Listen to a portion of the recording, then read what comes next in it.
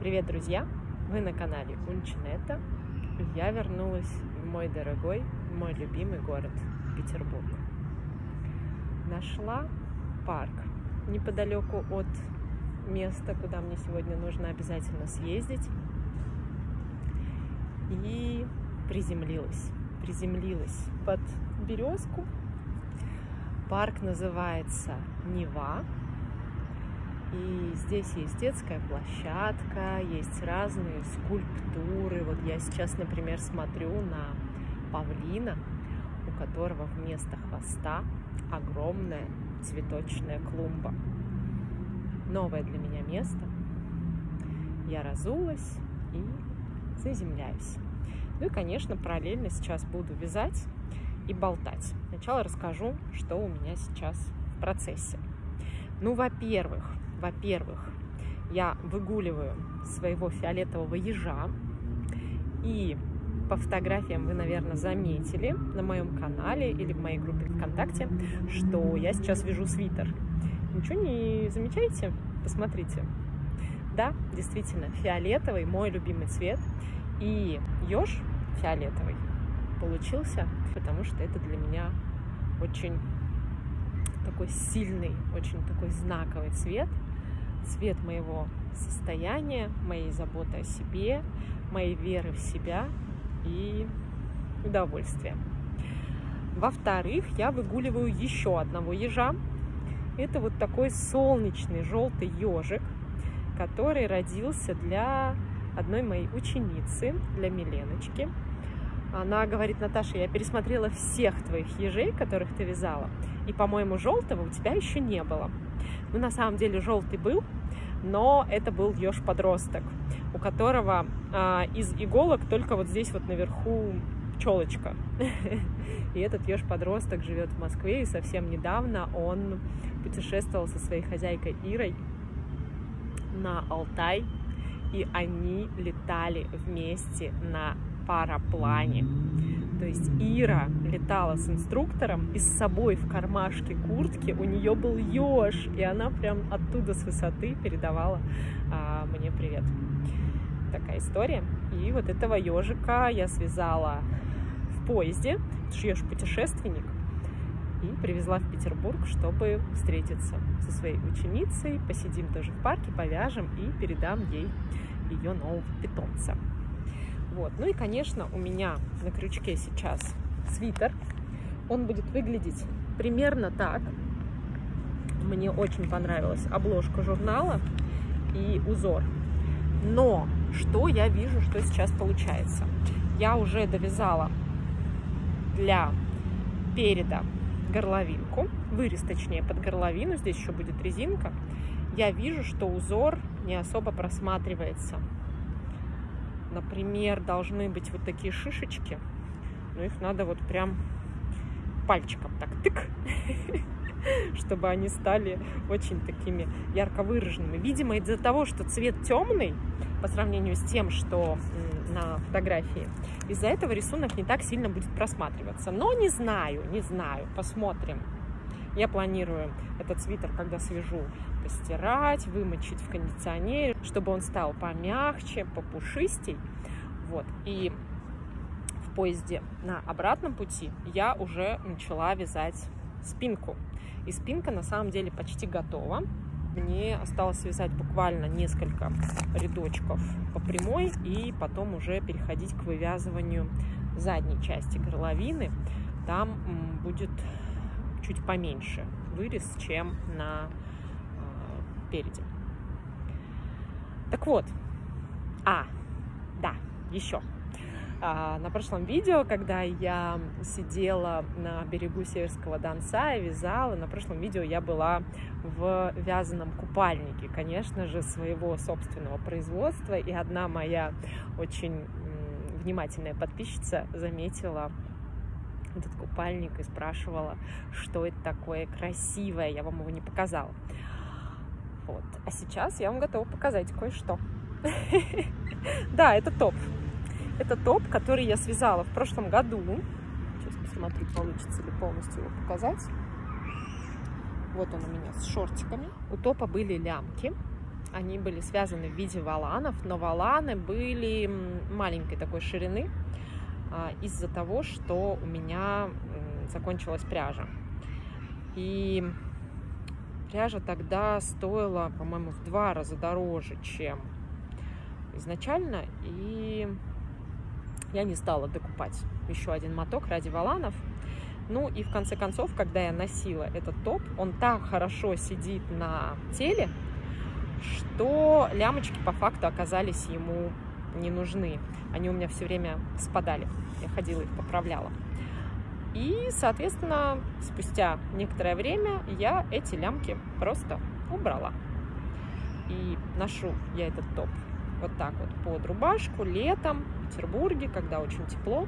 Пробовала его носить в теплых краях, да, где жаркое лето. Нет, не очень эта история подходит, потому что все-таки он плотно прилегает к телу и жарко, короче, в нем. Поэтому для Питера шикарно подходит. Можно носить как с рубашкой, так и без рубашки. Очень, по-моему, хорошо смотрится. Ну а сейчас я продолжаю вязать спинку. Я начала уже второй или третий, третий, третий моток. И э, беру ниточку из серединки. Ну, тут какая-то серединка прям запутанная. Очень много узелков. Видите, что происходит? Так, что с этим делать, я пока не придумала. И благодаря этому моточку я подступаю к теме сегодняшней болталки. Это тема ошибки. Так как я занимаюсь вязанием не только для себя, но и на заказ, и так как я совсем неопытный мастер и продажник, а, я делаю все очень интуитивно и на обу, а, то, естественно, у меня случались казусы. Казусы в общении с заказчиками, а, казусы и переживания мои собственные, да, мои собственные ошибки, когда приходилось что-то перевязывать, что-то переделывать, а где-то делать соответствующий вывод. И вот одна из первых ошибок, она такая больше профессиональная и больше сейчас прозвучит, наверное, как рекомендация. Перед тем, как начать вязать какое-то изделие, лучше возьмите вот этот моток и перемотайте в клубок. Зачем? Ну, во-первых, из клубка пряжа ровно и аккуратно разматывается. То есть не нужно делать, когда вы вяжете вот такое движение, да, когда вы ниточку вытягиваете из мотка. А, во-вторых, клубок меньше по своему объему, и его удобнее с собой таскать в сумке, когда вы, например, вяжете где-то в парке или в транспорте. А, ну, а в-третьих, когда вы перемотаете пряжу в клубочек, вы увидите, есть ли в ней брак. Вот, например, вот в этом мотке оказался брак. У меня здесь не два кончика, как полагается, да, один снаружи, а второй изнутри, а три кончика. И вот откуда взялся третий, я пока не пойму. И я вот сейчас вяжу и жалею, что не перемотала этот моточек в клубок. Ну да ладно. Еще одна история прилетела ко мне сегодня утром и натолкнула меня, собственно, на мысль о теме этого видео. А, в поезде я вязала маленького ежика. А, если вы видели шортс, то такой нежно-розовый Барби еж, как назвала одна моя подписчица его в комментарии, нежно-розовый такой, очень прямо воздушный и очень светящийся, как будто бы получился малыш. И а, подписчица попросила его связать маленьким, для того, чтобы а, он стал брелком. То есть не вот такого размера, а чуть поменьше, да, то есть почти половинку получился. Смотрите, кто ко мне пришел. Кто ко мне пришел? Привет. Ну, что тебе бросить? Давай, брошу, брошу, брошу. Давай.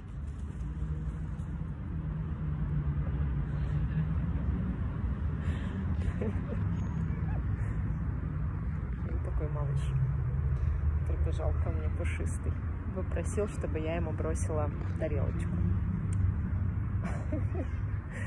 Ой, столько эмоций. Ну так вот, а маленьким этот еж получился. Я переживала, что маленькое изделие вязать сложнее, ну и переживала как бы не зря, потому что это действительно оказалось непросто. Вот. А усложнило а, эту задачу мне еще то, что я вязала в поезде, и я ехала в шестнадцатом вагоне. Это был последний вагон в составе, и этот вагон мотыляла по всей железной дороге, как только вообще можно. Вот. И, соответственно, сложно было крючком попасть в петельки. Но ничего, я справилась. Я, конечно, взяла крючок поменьше, я, конечно, размер тельца уменьшила за счет того, что несколько рядочков убрала, поэтому он по высоте получился поменьше, поплотнее его так набила и достаточно плотно вязала, поэтому с размером я справилась. А глазки, конечно, можно было сделать меньшего размера, но, опять же, так как я вязала в поезде, у меня не было магазина, как говорится, под рукой, то те глазки, которые у меня были в наличии, те и получились. Проблема вышла с цветом иголок потому что подписчица, когда делала заказ, попросила, чтобы иголочки были розовые и оттенок, чтобы я выбрала сама по настроению. Вот как увижу, вот такой и возьму. А, и я действительно так и сделала. Я пошла в магазин уже прямо-прямо перед отъездом, перед поездом, а, чтобы успеть купить пряжу и взять с собой поездку. И я выбирала этот розовый оттенок действительно очень прямо эмоционально, что ли. Я не хотела ярко-розовый, потому что это такой а, очень такой цвет привлекающий, вырви глаз, такой очень типичный. Я хотела выбрать пряжу, чтобы она вот прямо по толщине была чуть тоньше, чем пряжа, которую я обычно беру для иголок ежей, чтобы в маленькие тоненькие петельки все аккуратно вставлялось. И я выбрала пряжу такого нежно-нежного, теплого розового оттенка. А, такую даже ближе к персиковому, что ли. И очень была довольна своим выбором. Но сегодня от заказчицы получила сообщение о том, что в Инстаграме она уже увидела мини-ежа, который получился, и с размером все в порядке, а вот цвет не очень понравился. Заказчица попросила переделать, ну, спросила, возможно ли это. Я сказала, да, хорошо, переделаю. Заказчица попросила цвет а, более яркий, по-моему, оттенок фуксии. И в этот раз я написала, чтобы она мне прислала какие-то фотографии из интернета с этим цветом, чтобы я уже а, пошла выбирать пряжу в магазин прям с конкретным запросом, с конкретной фотографией. Вот. Я, конечно, расстроилась и ну, отпустила, так скажем, эту ситуацию и поехала сегодня утром, когда уже приехала в Петербург, поехала на одну очень приятную встречу, прогулку и взяла ежей с собой. Я знала, что, скорее всего, где-то я приземлюсь в парке и буду вязать, а, ну и думала заодно в питерских красивых местах пофоткать этих ежей. Я, кстати, совсем забыла это сделать. И так получилось, что я на встрече со своими прекрасными подругами а, рассказала про эту историю. И одна девушка попросила показать ежика а, на фотографии, а он у меня как раз был с собой в сумке и влюбилась в него и сказала, что очень хочет подарить этого ежика своей дочке, что сегодня она улетает и совершенно волшебным образом этот ежик полетит сегодня знакомиться со своей новой хозяйкой в Екатеринбург. Ну а нового яркого мини-ежа я свяжу еще одного просто. Дождусь, когда мне пришлют цвет иголок и схожу в магазин и приступлю к вязанию. Так вот, про ошибки. А, ошибки по поводу цвета, ошибки по поводу размера, ошибки по поводу пряжи, внешнего вида изделия, они случаются. Ну, потому что, возможно, не хватает коммуникации между мной и заказчиком. Возможно, где-то человек делает очень эмоциональный заказ, а я так радостно тоже эмоционально реагирую на это, что могу забыть уточнить какие-то детали, какие-то формальности. А, ну или бывало такое, что у меня делают заказ, а я понимаю, что ну, у меня сейчас есть еще другие а, работы на крючке, и я ставлю этот заказ в очередь. Так, сделала ошибку. Видите, я даже здесь делаю ошибки. Распускаем. Нашла ошибку, но быстренько ее исправила. Что я говорила? А, бывает, что мне делают заказ, а я его не сразу могу выполнить, и я ставлю этот заказ в очередь. И пока я дохожу до вязания этого конкретного заказа, я бывало, что забывала особенности, о которых меня просили заказчики. Это тоже моя ошибка, я сделала из нее выводы, что перед тем, как приступить к заказу, я еще раз напоминаю заказчику о том, что вот а, было такое, был такой запрос, и нужно уточнить еще раз цену, нужно уточнить еще раз пряжу, размеры и так далее. А я бывала, что этого совсем не делала. А потом удивлялась, что получается не так. Ну или что приходится исправлять. Еще была одна моя ошибка, когда я вязала заказы, ну, по дружбе, так скажем. А, то есть человек заказывает, а я не уточняла стоимость этого заказа. То есть человек реально думал, что я просто так вяжу, ну, игрушки как бы в подарок. И потом получалась неприятная ситуация, когда я заказ уже отправляю по почте и озвучиваю стоимость заказа и стоимость доставки, а для человека это сюрприз оказывается. И, конечно, он в этом не виноват, конечно, это мои такие недочеты, и теперь, даже если я вяжу что-то своим знакомым и друзьям, я прямо стараюсь вначале прописать стоимость, условия, сроки а, и так далее. Еще такая прям моя личная ошибка, на которую я стараюсь прям обращать внимание, это мои переживания.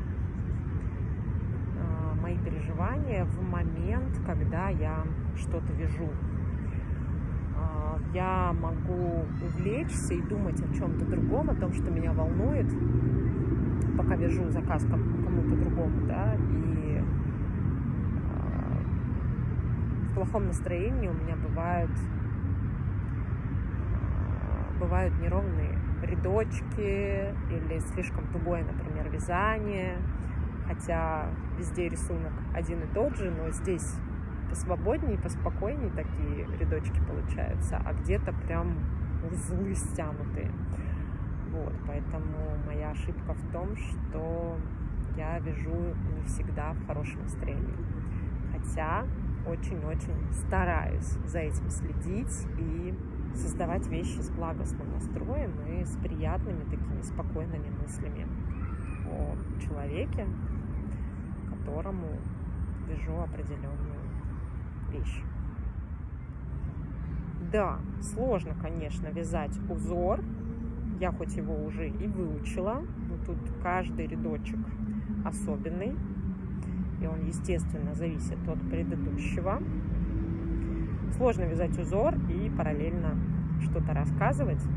На самом деле говорить о своих ошибках – это для меня а, новая достаточно практика. Признавать свои ошибки и даже выносить их вот так вот в публичное пространство. Это определенный такой психологический процесс для меня. Я вам не рассказала, где я была во время своего отпуска про одно очень трогательное и душевное мероприятие для меня.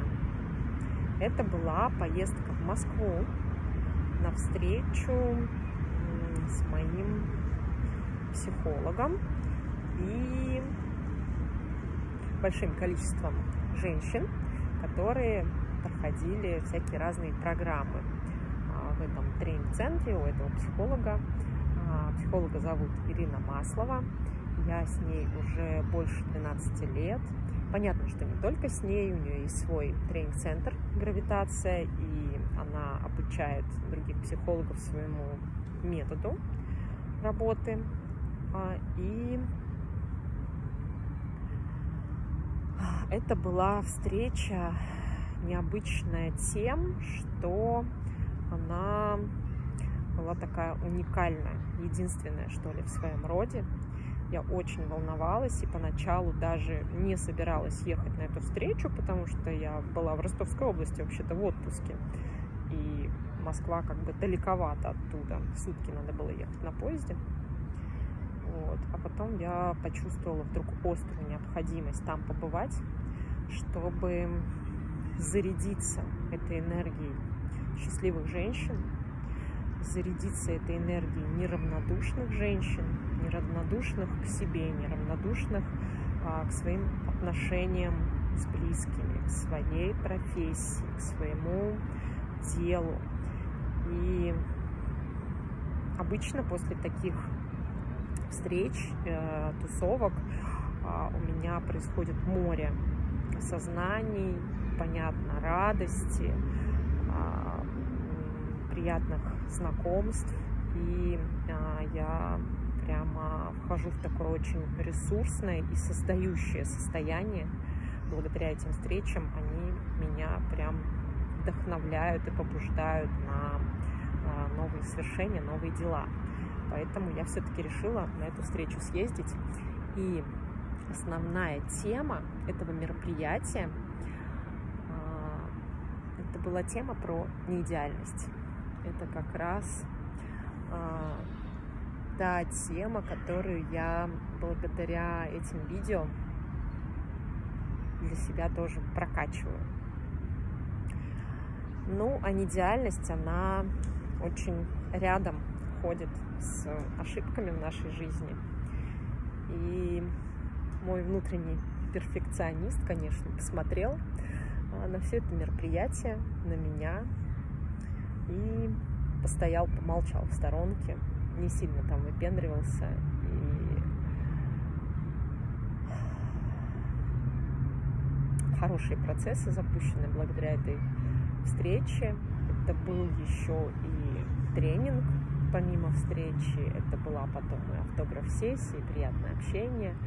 А, и все эти пять часов, пока длилось мероприятие, я чувствовала большую благодарность а, и Ирине Масловой, и ее тренерам, ну и себе, конечно, за то, что я смогла приехать, потратить свое время, деньги, в конце концов, отпуск а, на то, чтобы там оказаться.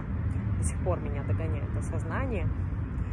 А, ну и благодаря, собственно, этому тренингу и этой встрече я вот, видите, с вами делюсь своими какими-то недостатками, своими ошибками в работе и в жизни. И что же мне делать с этим мотком? Смотрите, какой злюка. Вот сколько тут напряжения, да? Ну, хорошо бы это напряжение все распутать. Ладно, раз образовалось напряжение, значит, пора заканчивать. А, буду распутывать этот моток в более спокойном, неторопливом состоянии вечерком. это будет моя медитация. Сейчас я побегу на встречу с моей подругой Викой, а, она мне, кстати, для этого мероприятия в Москве, где мы были все в белом, а, одолжила платье. Вы его видели тоже в одном из шорцев. Я вот еду Вике это платье отдавать везу баночку варенья в благодарность из Ростовской области. Прощаюсь с вами на сегодня. интересно, отпуск заканчивается. Будет ли у меня желание продолжать эти разговорчики за вязанием? Ну, поживем, увидим. Думаю, что до новых встреч. Лайк, подписка, комментарии. Пока. Всем привет. У нас уже вечер. И это постскриптум к тому видео, в конце которого я уже с вами попрощалась. Я вспомнила еще одну ошибку, которую мне важно проговорить, потому что с этого момента я перехожу на следующий уровень. И еще одна большая ошибка, которую я совершаю уже который год, это вязание бесплатно или низкая цена. Когда я только-только начинала вязать на заказ, я посмотрела много разных видео а, вязальных блогеров, не только, по поводу ценообразования.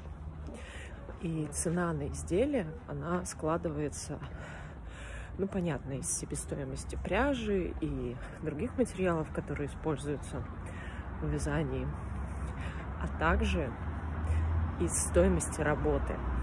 Так вот, работу предлагается рассчитывать а, из времени, которое я потратила на вязание, и даже из а, затрат на ну, временных затрат на покупку пряжи, на поход в магазин, на выбор мастер-класса и так далее.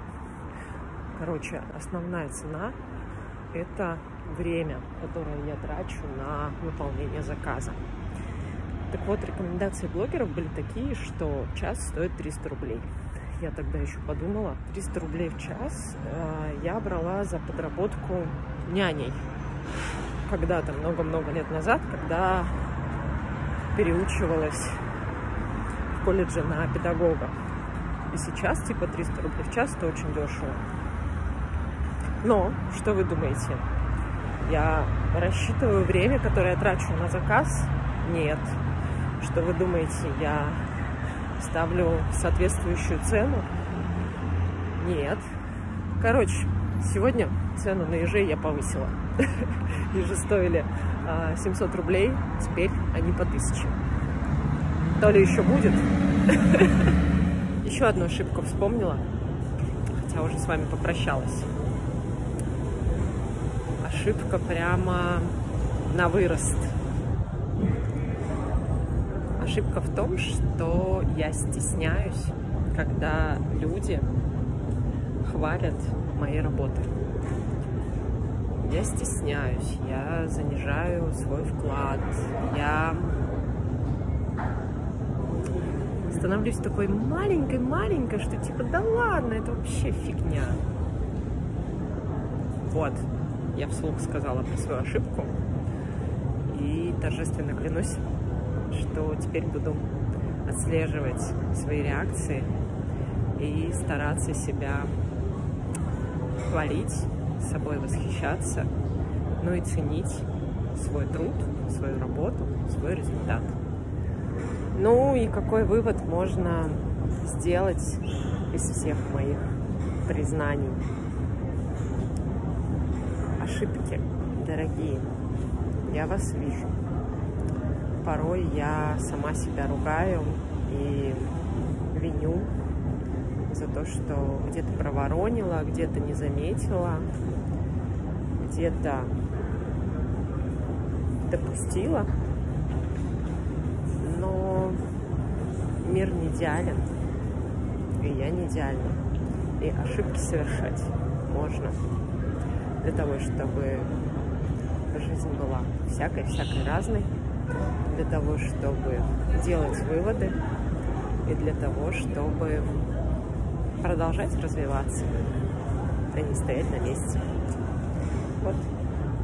Так что я благодарю себя, что была с вами откровенной, и я благодарю вас за то, что вы выслушали эту мою исповедь, как сказал один мой подписчик в комментарии. До новых встреч. Пока-пока. Много слов понапрасну, оправданий и слез пусть вину всю взвалю на себя и свалю. Четких рамок без правил не напишет никто из меня.